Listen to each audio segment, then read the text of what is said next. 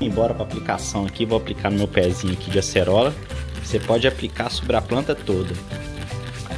O ideal é que você aplique tanto na parte superior quanto na parte inferior das folhas da sua plantinha aí, ok? Pode aplicar de forma generosa mesmo.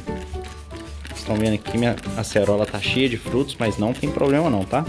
Como é um remédio 100% natural, é ideal você utilizar isso aqui quando sua planta estiver frutificando.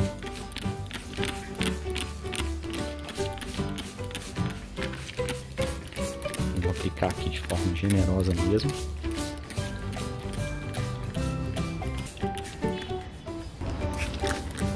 Vou aplicar no meu pezinho de jabuticaba também para prevenir as pragas. Vou aplicar principalmente no tronco e nos frutos. E o bom, pessoal, que ele é excelente contra fungos também. Vou molhar o tronco inteiro. Tá cheio de jabuticabas aqui, né? Para prevenir ataque de pragas aí. Você pode aplicar ele também em flores. Não vai queimar, não vai matar, ok?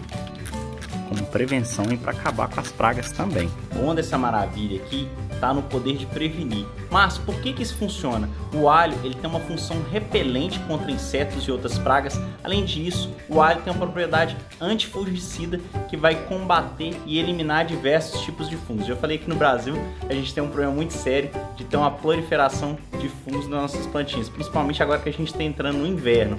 E a babosa, como muitos conhecem aí, ela tem aloína, que é um veneno natural, ela vai ajudar a matar as pragas. Além disso, ela tem óleos essenciais que vão acabar aí com cochonilhas, que vão acabar aí com pulgões e mosca branca e diversas outras pragas. Essa receita é maravilhosa e fica a dica para você também utilizar em todos os novos brotos das suas plantinhas. Não tem contraindicação, você pode utilizar ela em qualquer tipo de planta para você favorecer o desenvolvimento desses brotos e eles virem a brotar, às vezes até brotar florescendo. Que maravilha, né? Então espero que você tenha gostado dessa dica aqui.